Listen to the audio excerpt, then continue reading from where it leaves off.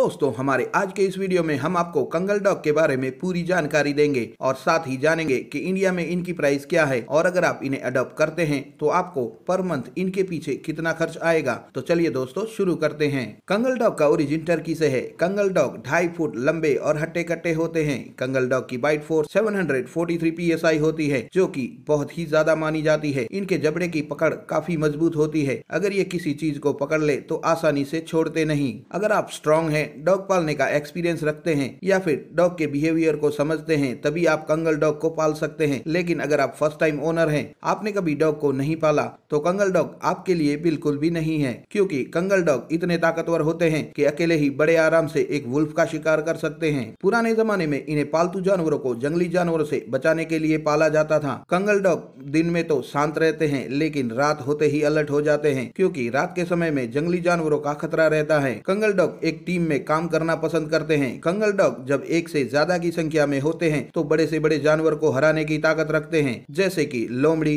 भेड़िया और भालू। Kangal dog की टेल कर्ड होती है, इनकी हाइट 76 टू 86 सेंटीमीटर होती है। कंगल डॉग का वेट 50 टू 65 केजी तक बढ़ता है। Kangal dog grey, light, golden और फ़ोन कलर में पाए जाते हैं। कंगल डॉग का जीवन काल 12 से 15 साल तक का होता है। कंगल डॉग बहुत ही अच्छे वर्किंग डॉग, फार्म डॉग और वॉच डॉग भी होते हैं। इन्हें अच्छे से ट्रेन और सोशलाइज करने के बाद आप इन्हें अपनी फैमिली के साथ रख सकते हैं। कंगल डॉग को किसानों के पालतू जानवरों को जंगली जानवर से प्रोटेक्ट करने के लिए खास तौर पर ब्रीड किया गया था। ये इतने ताकतवर होते हैं कि पालतू जानवरों को शेर और चीते से प्रोटेक्ट कर सकते हैं। इसी वजह से इन्हें अफ्रीका में भी पाला जाता है। लेकिन कंगल डॉग की एक सबसे बड़ी खासियत होती है कि ये कितने ही एग्रेसिव क्यों न हो जाए, पर अपने ओनर के लिए लॉयल ही रहते हैं। कंगल डॉग अपने ओनर को प्रोटेक्ट करने के लिए कुछ भी कर सकते हैं। अब अगर बात करें इनके पीछे खर्च की तो कंगल डॉग को रहने के लिए एक बड़े स्पेस की ज़रूरत होती है। ये छोटे घर में नहीं रह पाते, क्योंकि ये सारा दिन वॉकिंग करते रहते हैं। ये जहाँ भी रहते हैं, उसके चारों ओर घूमते रहते हैं। कंगल डॉग को अगर आप एक अच्छी क्वालिटी का डॉग फ़ूड प्रोवाइड करवाते हैं तो आपको चार से सात हज़ार तक का